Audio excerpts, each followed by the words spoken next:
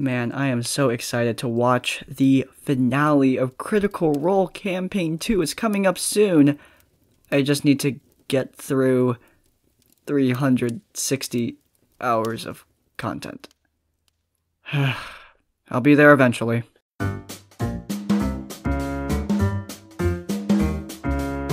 In my old D&D group, the main DM of the group, he was the main DM as he had the most experience, who I had talked about previously was a big fan of Critical Role. So was I.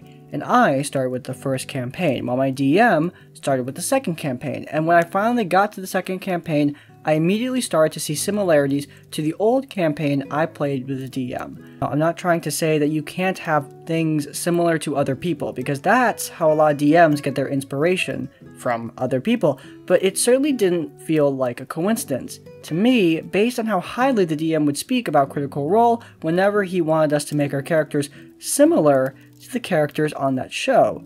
So he didn't really seem to care about originality. I'm starting on episode 5 of Campaign 2, and so far I've spotted a couple similarities. Firstly, the first plot hook of Critical Role is almost the exact same as our first plot hook, with a mysterious force creating undead and the party being placed under investigation and forced to find the true culprit to clear their name, which, once again, I wouldn't have thought my DM copied if not for the fact that it was this specific DM. Second similarity lies within the character Fjord of Critical Role, who on episode 4 or 5 was visited by their patron, who has ties to water, as far as I know, in their mind while they slept, and then woke up drenched in water as well as coughing water up from their mouth. The exact thing happened to our water themed warlock, Fathomless, which isn't what it was called at the time.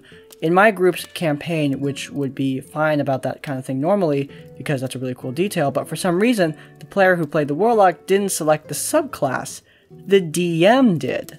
I don't know why my DM wants things to be so similar when he could have just swapped things around, but that just seems like a trend with him. He was almost passive aggressive when I said my half orc skin color was gray, by saying that gray skin is pretty weird and that green skin was more popular. He told me that's what Fjord looks like, and I'm like, Dude, I know that. Speaking of my half orc, he was a zealot barbarian who worshipped a god of war and aimed to gain the god's blessing by proving himself in battle over and over. However, because he is dumb as a bag of rocks, fails to understand the god's principles and follows the reasoning that battle equals good, and believes that his god thinks violence is absolute. Because of this, he won't be able to gain a blessing until he changes his way of thinking and grows as a person. But because of his awakened zealot powers, he believes he has already received a blessing, and his way of thinking is further ingrained into him, driving him to become a bloodthirsty psycho until he gets some sense into him not that it mattered what I wanted him to become as I left the group after the DM tried to gaslight me. God, I want to play this character again. Why is this important? Well, my DM was constantly trying to pressure me into letting my barbarian become a champion of his god right off the bat, and still tried to get me to give in after the campaign had started. I tried to explain to him that gaining his god's blessing so early would defeat the entire purpose of the character and his arc, and what I wanted to roleplay as, but after that, he only made passive aggressive remarks about it. I just realized that he just wanted to have a divine being interact with me like a cleric or a warlock would, which makes me think that he just wanted my character to be a cheap ripoff of Yasha, which would fit his theme, but I'm not too certain at this time. My DM would also often make fun of the other less experienced players when we talked in person, and would bash their actions, the campaigns they ran, and even advertise for his campaign to me by stating that at least it wasn't run by those players.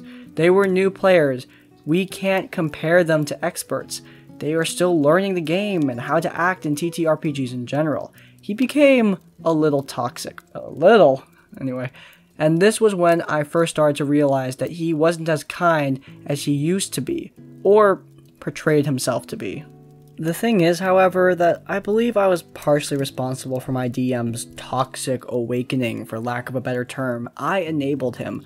Back then, I was kind of a dick, and whenever I got mad at the other players for stupid reasons, I would complain to my DM. Eventually, I started to make fun of them because they had fun differently than me. I was a grade A asshole. I think this made my DM more comfortable with doing it. They saw me as someone who wouldn't judge them for bashing their own friends. I think my DM took it a bit far. He seemed to be full of mirth when he was making fun of his friends behind their backs. He was doing it to make himself feel good. I think I was doing it because I was angry with no outlets. I started to feel guilty about making fun of my friends, and I stopped giving that sort of feedback. That didn't stop him though, he kept going and I kept quiet. Never really stood up to him about it, and the only time I did was when he eventually tried to get my friends to get mad at me because I didn't think that one of his encounters was fair. And then he told one of my friends that I had been talking about them behind their back. I don't hang out with these guys much anymore. They weren't really my people anyways. Kind of ironic, isn't it? Me being an asshole inspired my DM to become an asshole, which led to him exposing my douchey actions when I decided I didn't want to be a jerk anymore. Anyway, I hope you enjoyed hearing me be a curmudgeon and complaining about my DM. At least the complaining is anonymous this time. I'll ask any questions if I can. Thank you for reading.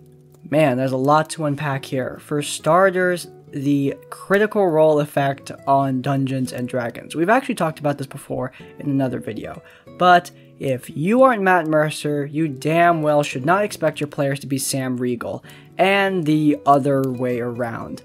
Look, Critical Role works for a lot of different reasons. The friendship between the players, the professional voice acting, the setup, the budget, an awesome DM with a lot of time to create an amazing story, the friendship between the players, again, huge deal.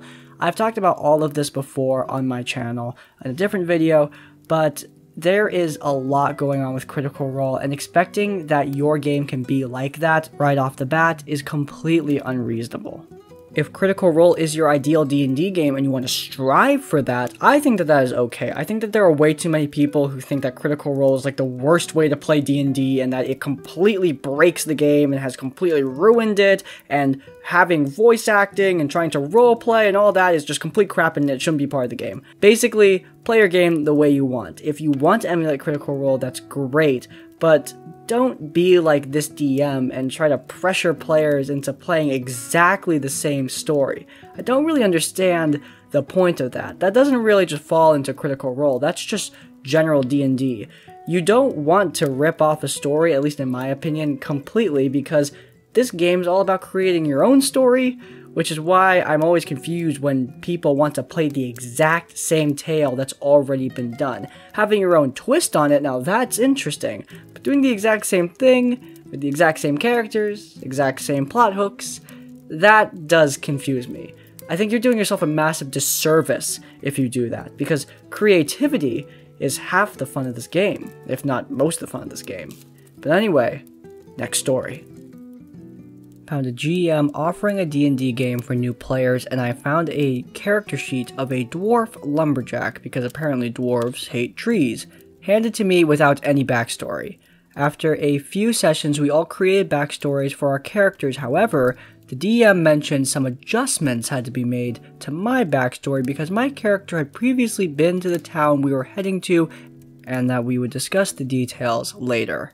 The GM explained the town is run by different insurance companies, which we later found out were essentially triads. The Yellow Insurance owns a lumber mill, and my character used to be a former employee before he left and became an adventurer. However, he still has very fond memories of the mill and the employer. By the way, we later figured out that the head of the Yellow Insurance is called Mr. Ling, and he has an almost almond shaped eyes and a yellowish complexion. Oh, that's nice. Casual racism. So far, so good, I thought, until the following dialogue came up. But just so you know, the lumber mill is heavily guarded and the employees actually weren't able to leave the compound. So I was a prisoner? I don't think the character would have fond memories of being a prisoner. The GM responds with, You were no prisoner, you obviously were allowed to leave, theoretically, but everyone who did was severely punished. And he noticed I wasn't convinced. Plus, you were also paid very well, so you still have good memories. So, dwarves love their gold, I guess? Well, but since you weren't able to leave, you had to spend everything on the insurance-owned store on the compound and everything there was insanely overpriced. So I couldn't afford anything and I wasn't allowed to leave without permission. I still don't see how the character would think kindly of the time. At this point, the DM is getting slightly annoyed. No, no, you think very highly of the lumber mill. After all, every year they would throw Christmas parties for the employees.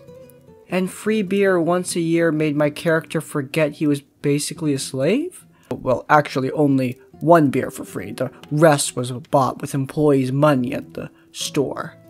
That makes it even less likely that any dwarf would give up their freedom for one free beer a year. Yes, but you still have good memories, because they later promoted you and you were allowed to work outside of the mill to acquire the wood. So I got a pay raise and could leave the compound. No, you, you didn't get raised, just a different position, and they were actually following you around all this time to make sure you went straight to the wood and went back to the compound after finishing your work. At this point, I just gave up and said, well, at least he could be outside in the woods, I guess, doing what he loved, killing trees. The GM responds with, Yes, exactly, and when you tried to leave after 15 years, they actually let you go, even though no one has been allowed to leave before, and you were very grateful for that. So you still have very good memories of your employer. They kept all your gold though. The story later unfolded with us being pressured into working for the Triad, and the DM basically wanted to give my character a reason to cooperate with them because of all the fond memories, but still make them seem very cruel at the same time. Obviously resulted in an absolute dumpster fire, but that is a tale for another thread. I need to see this other thread. Where is it? Okay, look. Point is, this is another thing where the DM didn't properly plan out what he was thinking and came up with some BS excuse rather than just admitting that he messed up and needs to fix things. At least, that's how I see this. If that is the case, there is a very practical lesson to be learned here. Guys, don't be afraid to admit when you are wrong as a DM. Don't be afraid to say, hey, look, I didn't think of this and I need to rethink this over. That is okay. Your players will forgive you. They're not the unforgiving editors of a book publisher. They're D&D players. If your players are nice and fun and are your friends, they will forgive you for making mistakes. This DM did the opposite of that. Instead of trying to fix the mistake, they just doubled down and created a dumpster fire of a mess that just completely messed up a player's character and basically made them have Stockholm Syndrome. That is not good. When you're wrong, just admit you're wrong and try to fix the mistake, rather than doubling down and creating a confusing mess. Alright, next story. Occasionally, I run a Monster of the Week style beginner's game, just some basic adventures with whoever shows up. These games are aimed at newbies to show them the ropes and, of course, recruit them into some of my other games. Since there's a lot of younger players, I keep things PG 13. I don't mind the occasional veteran player joining as well, as long as they're fine with sitting back while I tend to the younglings, or helping out themselves. Now, get a hold of these two guys and how I kick them out. The cast is me, the DM, Edge Lord, an older newbie player, I suspect he wasn't new, just got kicked out too often, Elitist, a veteran player and RP elitist, absolutely full of himself, and some newbies that didn't say much and you'll understand why. My other table rules for these games are simple. No evil characters, only PG-13, and cooperate. Edgelord was immediately confused by my no evil PCs route. For a newbie, he had suspiciously familiar arguments against it. Evil characters can be great storytelling devices and stuff like that. That's too complicated in a casual group with newbies. This game is meant to be as simple as possible. I told him so, and I still disallowed it. The elitist immediately jumped on that discussion with further arguments. How I, as a DM, can't interfere with player agency, blah blah blah blah blah. I shut that down too. This is a tutorial group for newbies for crying out loud. Want to make a storytelling epic about your edgy character? Find a different table. These guys sulked, but it was pretty clear I wasn't budging, so they decided to agree and leave it.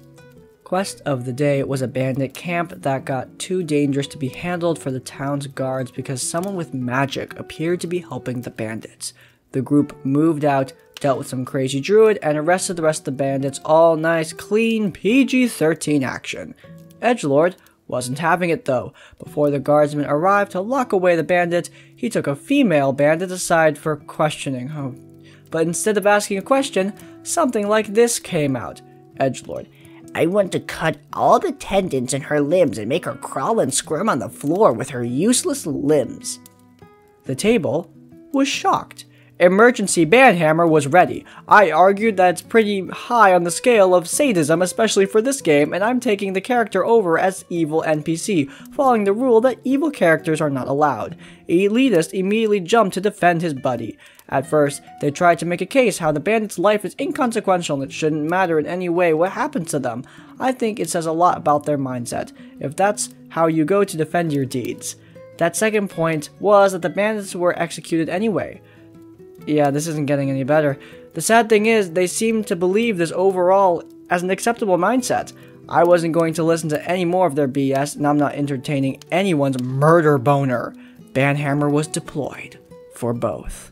These guys are human garbage. I mean, I don't know how else to describe it. I mean, look, there's a group out there for everyone, but don't force people to endure some weird murder crap that you get off on. I mean, look, you do you in the privacy of your own weird games and homes, but in other people's games where that clearly is not allowed, don't do that.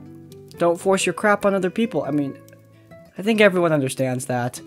Well, clearly not everyone, but most decent people understand that. I don't really know what else to say. Well, okay, if that's all I've got, then that's all I've got. If you guys enjoyed this episode of RPG Horror Stories, then please do leave a like.